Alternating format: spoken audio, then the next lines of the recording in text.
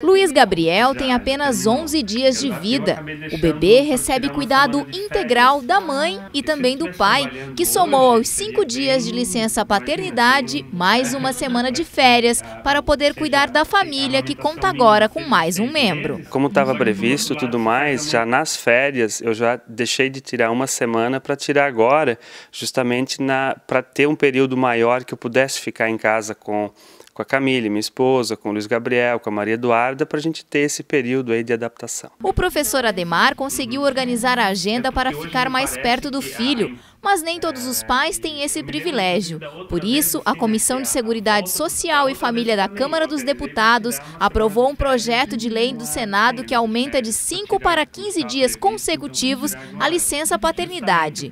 De acordo com a psicologia, essa ligação entre pai e filho nos primeiros dias de vida do bebê só faz bem para ambas as partes. A do processo de construção de vínculos, pai, mãe e filho. Quanto mais cedo o pai se envolver é, junto às necessidades da criança, desde a sua concepção e o seu nascimento, é, isso para a vida psíquica e emocional da criança é muito importante. Porque assim, à medida que a criança vai apresentando as suas necessidades ou demandas, como a gente fala, né?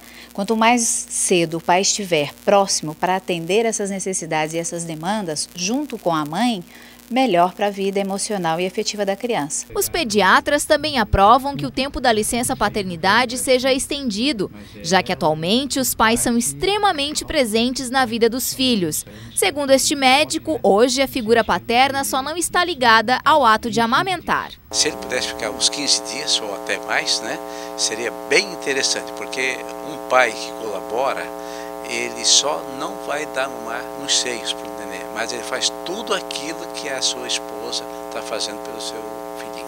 A maior parte está fazendo tudo aquilo que a mãe sabe fazer. Isso é, isso é, para gente, isso aí é lindo, é bonito, afinal, tem todos os adjetivos que eu posso dizer, né? E para o neném é muito bom e é um, ele vai valorizar o trabalho da, da sua esposa. O pai do Luiz Gabriel gostaria de ter ainda mais tempo para curtir o pequeno. Ele acredita que se a licença fosse de 15 dias ou mais, a família poderia se organizar melhor com a chegada do bebê, até porque os primeiros dias de vida da criança são bem agitados e cheios de compromissos. A questão não é a licença pela licença, mas é realmente a licença para que a gente tenha esse período de adaptação, né? Que muda bastante a vida da gente. Então, toda a logística muda, as pessoas precisam se adaptar. Não é só o neném que chega e que tem que se acostumar conosco, mas nós temos que nos acostumar também com ele. Tem consulta médica, tem teste do pezinho, tem vacinas. Aí quando ele chega a gente se a gente percebe que há outras necessidades também, precisa comprar uma coisinha, outra, então aí a gente aproveita essas primeiras semanas para fazer isso. Se aprovada, a nova lei também vai beneficiar os pais adotivos, concedendo a licença mediante a comunicação dos fatos, acompanhada da certidão de nascimento ou documento oficial de adoção.